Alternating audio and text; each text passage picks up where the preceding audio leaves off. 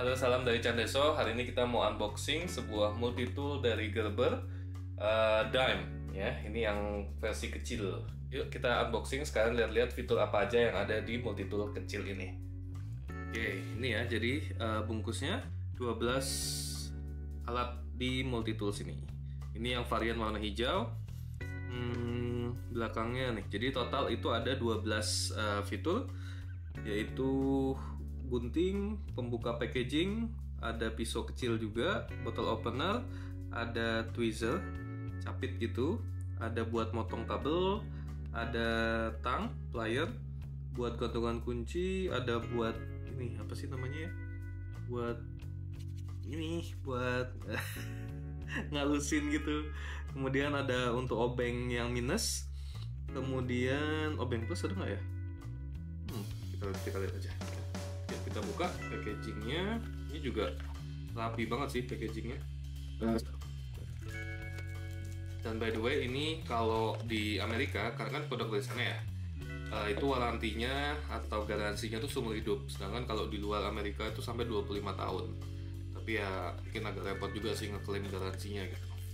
Jadi ini salah satu varian multitool yang paling murah sebenarnya dan untuk dari Gerbernya sendiri ini yang paling murah yang dime ini. Jadi memang untuk uh, kalau apa namanya baru awal-awal pengen ngoleksi multi tools pengen nyobain dari mereknya Gerber itu ini. Ya ini dia alatnya. Uh ini tangnya ada ininya ya by the way ada pegasnya. Jadi dia bisa balik ke posisi buka. Dan penyimpanannya itu harusnya kayak gini. Itu gila kecil banget loh. Ini dibandingin tangan ya cuman satu jari doang.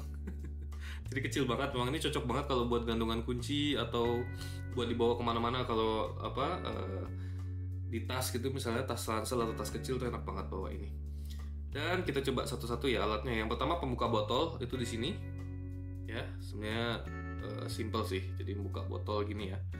Kemudian gantungan kunci sebelahnya. Kemudian ini kita buka. Oh ini pisaunya nih. Pisaunya juga kecil banget ini kayak gini. Segede dua ruas jari. Dan uh, ini buat motong-motong yang simpel-simpel ya untuk motong yang berat kan juga susah. Tapi besinya solid. Dan dia nggak ada locking mechanism. Jadi dia nggak bisa ngunci. Jadi kalau ditekan ke bawah dia akan ngelipat. Ini masih keras banget sih. Ih mantap gitu. Kemudian di sini itu ada nah ini juga penting yang banyak multitool kecil itu lupa nih sama yang beginian atau nggak dimasukin yaitu packaging opener contoh tadi ya misalnya ada packaging kayak gini gitu atau kardus yang ada solasinya ini tuh enak banget buat buka gitu. Jadi ada packaging bukanya begini ditarik gitu. Nah gitu cara bukanya. Kalau ada apa solasi atau apa gitu. Ini udah masih ini berat banget sih terus sisi satunya ini ada gunting. Wah ini ada gunting. Gunting kecil banget lah dan ini pun ada pegasnya ya. Jadi dia balik. Kita coba ngambil kertas deh sama. Ini ya buat kertas tipis gini. Ini mantap banget bisa. Ya. Tapi kalau kertasnya agak tebel kayaknya susah juga deh. Kayaknya mau buat ini contoh yang tadi packagingnya ya ya susah banget motongnya. Jadi ini emang buat kertas doang kertas yang tipis. Tapi satisfying sih motongnya. Bisa. Oke gunting juga ada lengkap. Kemudian sisi sini ada apa nih? Oh ini ini buat obeng nih atau buat nyungkil. Buat buka-buka gitu ya ini by the way ada minyaknya ya. Kemudian ini apa nih? Ini nail clipper atau oh ya ini nail. Buat ini buat ngalus-ngalusin. Jadi karena kalau buat kuku gitu-gitu tuh bisa tuh enak. Sama buat obeng. Nih obengnya. Kemudian ini di sebelah tulisan uh, gerbernya ini kalau ditarik ini agak susah sih kecil banget.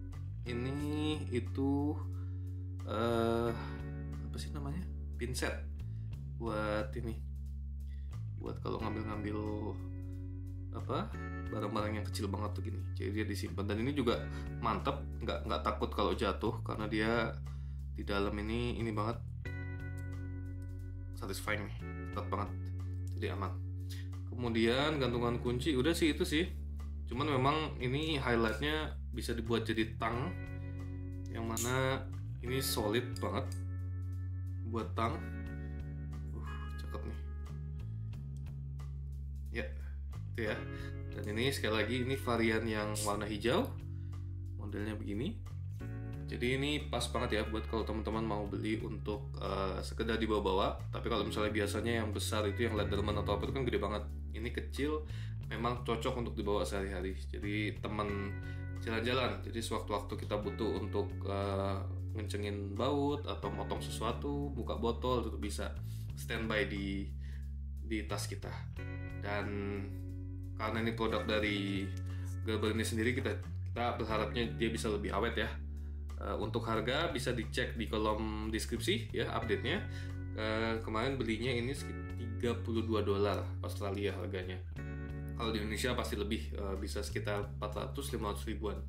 Cuman untuk multi tool dari merek ini itu ini adalah varian paling murah dan yang paling kecil yang menurutku paling cocok kalau dibawa-bawa sebagai EDC gitu. Oke. Kalau gitu kalau masih ada pertanyaan atau mau nambahin sesuatu informasi tambahan bisa aja langsung ke kolom komentar, oke? Kalau gitu sampai jumpa di video berikutnya. Salam dari Deso. Cus.